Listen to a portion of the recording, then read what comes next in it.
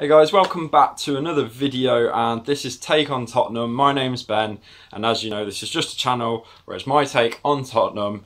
Um, it's just a fan channel, one of many who has an opinion on this football club in particular. Um, so as you might have seen in my first video, um, all introduction stuff so you know who I am, you know my views um, and yeah we're gonna get into a transfer window video I spoke about in the previous one, and I just wanted to get my thoughts across who I think should leave the club because I do think there's some people now that just need to move on. Um, so yeah, let's get to it. Davinson Sanchez, I have a bit of a love-hate relationship with Davinson Sanchez. He's great on FIFA. We need to establish that he's brilliant on FIFA, um, but he needs to go. I think I, I don't think it's worked out. He was initially a club record signing and I just don't think it's worked out. Um, he just he doesn't he's not reliable for me. Um, he has mistakes in him.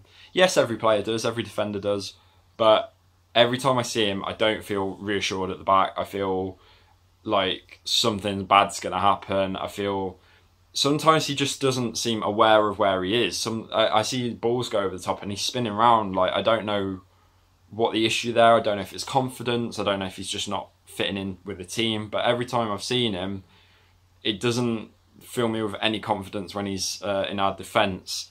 Um, so yeah, I think for me, Sanchez maybe time to move on, and I just think we just have to hold our hands up and go. It didn't work.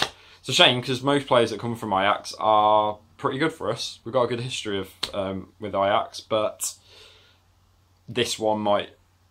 I don't think it's worked out too well. Um, Erik Lamela, um, apart from Christian Eriksen, probably one of the only ones that seemed to semi work out from the Bale money.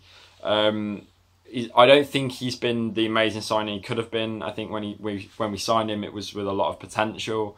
I think he uh, had quite a reputation from Roma. Um, obviously, he was Argentinian as well and it's never really worked out. I wouldn't say he's ever had a blinding season. Um, I think he's had good seasons, but he's been plagued by injuries. He's had massive, massive layoffs as well. With I think he had an injury that lasted him a year or two. I think so. Um, Lamela, as much as I do love him in the team, I think again, in terms of going into a new era with Spurs and trying to get some new blood in the team, I think it might be time for Lamela, Lamela, Lamela to move on. I've heard a rumor that Brighton are interested, but I'm not 100% sure. I don't know if there's any truth in that. But yeah, I think maybe time for Lamela to move on. Reluctantly, so it's definitely a case of what could have been with him. But um, yeah, I think it's time time for a, a new start. Yeah. So Musa Sissoko. what an up and down journey for Sissoko. Hated. I ain't gonna lie, I hated it. I hated the signing. It felt like a panic buy to me. And it's just kind of slowly improved. And then he had a really breakout season a couple of years ago. Now, apparently, according to the documentary, is a pivotal um, part of the dressing room. Um, and I think people will be happy with the story of Sissoko. I think initially he was going to go after a season. He wasn't fitting in. He wasn't playing. When he did play, he did nothing. Um, and I think now, I think he's probably at a point where he could probably get a decent move. I do think again, it's it, like Lamela. I think it's the sort of thing where maybe it's time to move on. I think that he does have promise. I don't think he's the same player that he was probably at that Euros where he had a really good um, tournament with France. But I, am glad that he's improved, but I do think it's time to move on um, for him. But um, yeah, it's just just to freshen it up. We need a bit of a freshen up at Spurs. Ryan Sessegnon, I was so happy when we signed him. Um, I really wanted us to sign Sessegnon way before we actually did. Um, I thought he was a perfect player for Spurs, and I definitely see him in our future. I think a loan move uh, for Sessegnon. I think he would benefit from a loan move better, and um, yeah, hopefully he'll be our future left left mid left winger. But yeah, Sessegnon stays but goes out on loan. Juan Foyth, uh, he leaves. in my opinion, I think to get the homegrown numbers ratio up again, um, I think Foyth just needs to leave. It's not really worked out. I do like him, but I just think he'd be better off at maybe like a Palace or maybe a Sheffield United, even a loan deal, um, maybe. But uh, I do think that he's not going to be breaking into the team much um, this season.